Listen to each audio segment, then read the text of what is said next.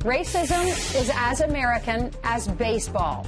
Those are the words on that banner right there, displayed by several protesters on the outfield on the wall during last night's Red Sox game. Those fans were escorted out to the boos of surrounding fans. The group says they were inspired by the Black Lives Matter movement, and they wanted to remind everyone that racism, like baseball, is fundamental to American culture and history. Right. Uh, that Black Lives Matter also uh, uh, put a tarp over the Jefferson statue at the University of Virginia, a statue we founded.